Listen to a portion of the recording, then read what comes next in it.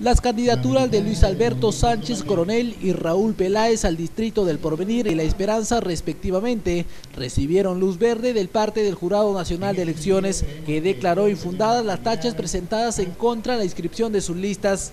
Ya ahora estamos en condiciones de poder dialogar directamente con nuestro vecindario, de poder presentarnos ya como candidato en este proceso electoral y de exponerle cuál es nuestra propuesta en la perspectiva de la próxima gestión municipal. Diseñado una estrategia para un mes de trabajo y estoy seguro que nos va a dar frutos. Esperamos eh, ganar estas elecciones, eh, dado a que estamos haciendo planteamientos claros, y estoy seguro que la, población de La Esperanza va a acoger de muy buena manera nuestras propuestas que tenemos en mente.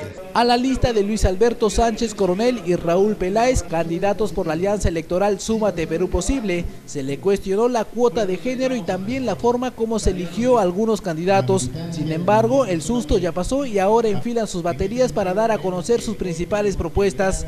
Una obra fundamental considerada de La Esperanza es el bypass del cruce de la muerte en donde vamos a evitar este, accidentes que casi siempre se dan. Los jóvenes estudiantes eh, van a tener dos comedores en la esperanza que vamos a construir y ganar las elecciones, dos comedores para 500 estudiantes. La más importante, considero yo, es la implementación de una tarea que se ha llevado a cabo y que es el Parque Industrial de Curtiembres y Calzado, que nos va a permitir mejorar la parte urbana de todo nuestro distrito, reubicando las curtiembres hasta hacia esa zona industrial.